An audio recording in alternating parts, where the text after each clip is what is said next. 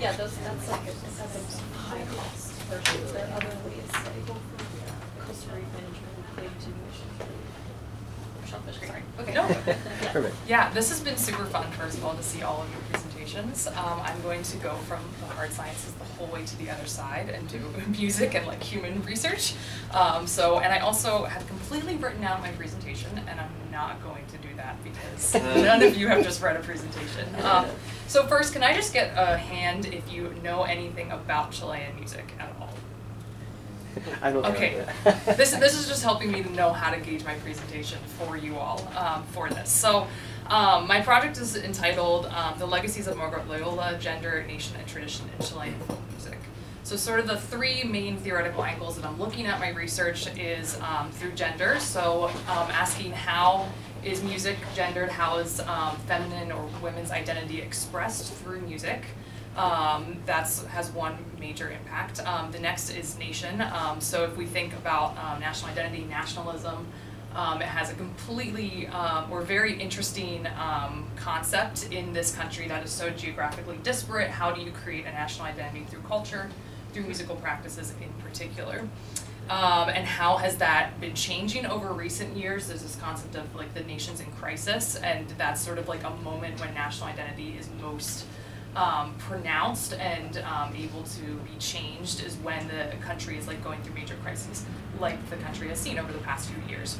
Um, and then um, I'll also be looking at tradition, which um, is a common concept in my field, which I'll get to in a minute, um, of understanding how musical practices are passed down over generations and how then social memory is impacted and how people understand what even tradition means.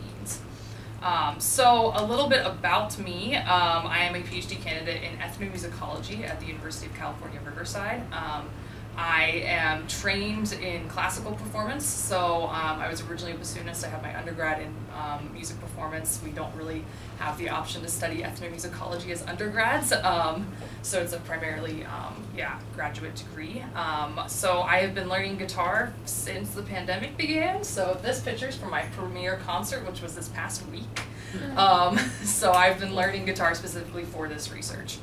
Um, I studied abroad in Chile in 2016, so that's what that photo is. Um, me as a little undergrad in Valparaiso, um, and that's how I got into my research. Was coming here, um, sort of begrudgingly bringing my bassoon, and then getting connected with the music community, um, and then the folk music community as a result, um, and just yeah, playing lots of music with people. Um, and then I'm affiliated with the Universidad Alberto Hurtado in um, Santiago, and my um, what is it called? Like primary sponsor is Lorena Valdebenito, who um, researches um, a lot along a lot of the same theoretical lines as me. So um, looking at um, gender, feminine canon, specifically with Violeta Parra, um, and um, also some work in music education as well. Um, I also have affiliations that I forgot to put on the slide um, with the Fondo Margot Loyola, which is um, an archive in Valparaiso at the La Católica there. And then also um, the National Academy for Traditional Culture, uh, Margot Loyola, um, which is run by a director but also um, partially run by her widower, so I have connections directly with the folklorists that I'm researching. So, um, to give you a little introduction into um, who Margot Loyola is, because she's sort of surrounding my entire project. Um, so, Margot Loyola um, was a researcher, performer, and teacher um, who lived from uh, 1918 to 2015, so she really recently passed away. Um, and she um, was started performing as a musician when she was like 12 or 13, so she has an over 80 year career. Um, and she is consistently cited to be one of the greatest teachers of Chilean folk music. Um, so just so for some background of her significance, um, Violeta Parra, um, who I recently mentioned, cited her as the most Chilean of the Chileans. and then um, poet Pablo Neruda, um, who hopefully most of you know of, um, named her, quote, the ultimate empress of Chile and its songs, the voice of the people, end quote. So those two quotes alone are like enough to unpack for like an entire chapter. um, so, and her career started um, in 1944. She recorded dozens of songs as a, both as a soloist and ensemble member. Um, she taught music dance and fieldwork methodologies, um, and she published six educational books about traditional music and dance. Um, and most of the songs included in those books are from the 18 or 1900s. They're um, not as much being played today, and that's part of what my research is looking at as well. Um, so these are incredible accomplishments for any musician during the 20th century, um, let alone um, when it was a period when it was difficult for women to advance academically and professionally as a musician. Um, and then today, as I mentioned, there's an Academy of Traditional Music um, in her name. There is um, the archive that I'll be working at, and there's a Roots Music Prize, which Zoe and I saw the sign for in a music shop yesterday, um, that it goes on um, annually. Um, that is also in her name. So there's a lot of work and promotion being done to remember her legacy and how she impacted Chilean folk music. Um, so this is sort of my big theoretical question, um, looking at how her performances, written texts, and pedagogical practices shaped national conceptions of tradition and womanhood in the past, and then how her students today um, operate within and beyond, beyond those to preserve her legacy. Um, so it will be partially biographical in nature, um, because I have to, you know, reassemble some missing histories that have not been documented by other um, Chilean scholars. Um, but I'm more interested in how others perceived her, and so it's not merely biographical, but trying to look at broader impacts. Um, so the folk music scene that sort of exists right now um, is, yeah, based on like her students who they call themselves discípulas or disciples, which doesn't translate nicely into, yeah, into English. Um, or I also have heard the term like loyalista, like soy una loyalista. um, and so um, the scene that is created has sort of spread across Chile in academic institutions, performances, compositions, folkloric ensembles that continue today. Um, so if um, Loyola is considered to be this portal into Chilean culture or considered to be the soul of Chile, um, it is crucial to examine how she trained current musicians and educators um, to understand their own nation state, um, as well as the gender biases that are enmeshed within this. Um, and again, if we put this in the context of today with the Estallido Social in 2019, um, and then um, the most recent upcoming presidency, um, this role of folklore that has been existing as a scholarly field and as a musical practice for over 100 years at this point, um, this is a very timely um, time for us to for to be analyzing um, the role of folk music in society today. Um, so um, despite this, um, so a little background on Chilean musicians in general. They uh, many Chilean musicians hold really significant positions within the country's public sphere and national identity and memory, social memory.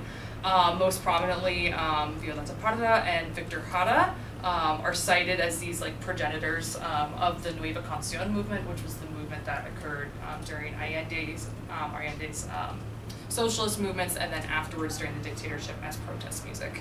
Um, so, but what is interesting is that they both directly and indirectly worked with Loyola as well. And she also promoted social justice and did social justice music, but it was it's not really talked about at all, basically. Um, so that's some of the historical work that I will be um, looking at. Um, and she, um, yeah, actually, that's all I'm going to say about that because we're already nine minutes in. Great. Um, so some of the musicians that I'm hoping to work with um, in this upcoming nine months, who have done, you have recorded music and worked with Loyola. Um, so most prominently, he's Hepe is like the most famous one. Um, so that's like my I'm like three degrees of separation away from getting contact for an interview. So I'm like hoping that will work. um, but so but musicians like Hepe um, have both studied with Loyola and then also um, had a major voice within protests recently. Um, so understanding how um, musicians like Hepe learned folk music from her um, and then also use that to then record um, folk music and then also be involved in protest movements. Um, other important contexts is the recent feminist movements that have sort of been occurring for the past 10 years or so. Um, and one prominent musician that has worked with Loyola as well is Andrea Andreu, and there's like a whole host of women musicians that I'm hoping to be working with as well for this. um, that have been recording feminist anthems in particular, um, and then also um, play and um, perform folk music. Um, does that make sense so far? Everyone's on board? Okay, great. So, um, what I will be doing, um, we kind of joke in ethnomusicology that we make a plan, and then as soon as you get to the country or your field site, you throw it all out the window and kind of restart, um, because you're working with humans and you can't control any of it. But I'm understanding that the sciences are kind of like that too, so that makes me Oh, yeah. feel a little bit better. um, but this is sort of my like plan as with regards to also quarantine and like how open things are, how much access I'll have. Um, so I'm hoping to start archival work in um, the Fondo Margot Loyola, um, which is basically where um, all of her um, documents are. Um, so I'm looking particularly at um, the time period for this between the 50s and 70s when a lot of her research um, expanded understandings of cultural patrimony beyond ethnic nationalism. Um, some of that goes into more complex um, ideas, such as um, this slide that I have where she's like performing um, indigenous rap and doing music with indigenous people, and that gets into complex things that today would be like, oh, cultural appropriation, but in the 50s it had a different, you know, um, cultural relevance, I guess, um, in promoting sort of, um, in um, constructing a new national identity that included populations that typically were not included. Um, and then I'm also interested, so sorry, so that will be a lot of um, looking at her actual research documents, um, so field notes, field recordings, um, letters of communication, um, et cetera. Um, there's a lot of information in the archives that I can just spend hours there. Um, and then I'm also interested in a lot of the public media that was released during the dictatorship um, to understand how um, she was kind of co-opted as a symbol of like ideal Chilean culture um, through her performances and um, yeah, representing patrimony through that. Um, so one of the main musical genres that she is a proponent of is um, la tonada, which I can perform an example for you all now, just to liven things up. Example. So I didn't mention also I will be taking private lessons um, on guitar and most likely harp and maybe some other instruments because why not? Um, so um, I will. I'm not playing this song even though this song is great, but um, I'll just play part of another one.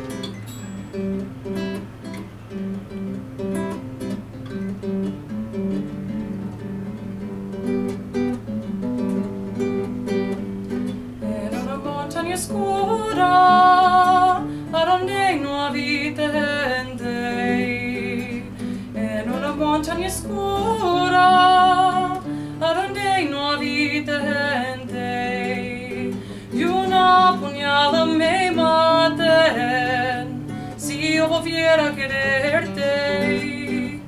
Ah, sorry.